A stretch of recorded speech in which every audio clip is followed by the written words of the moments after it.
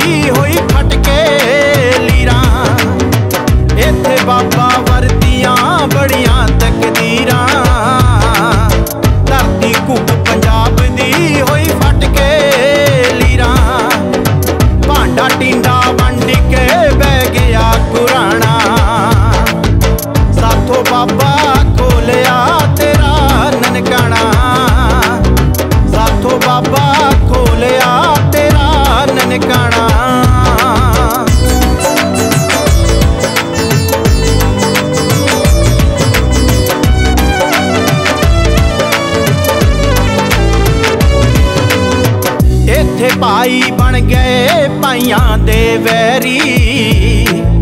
ਕੋਟੇ ਰਾਖਸ਼ ਜੰਮ ਪੈ ਕਈ ਬਲੀ ਕੰਧਾਰੀ। ਇੱਥੇ ਭਾਈ ਬਣ ਗਏ ਭਾਈਆਂ ਦੇ ਵੈਰੀ। ਕੋਟੇ ਰਾਖਸ਼ ਜੰਮ ਪੈ ਕਈ ਬਲੀ ਕੰਧਾਰੀ। ਚੋਰਾਂ ਨੇ ਗਲ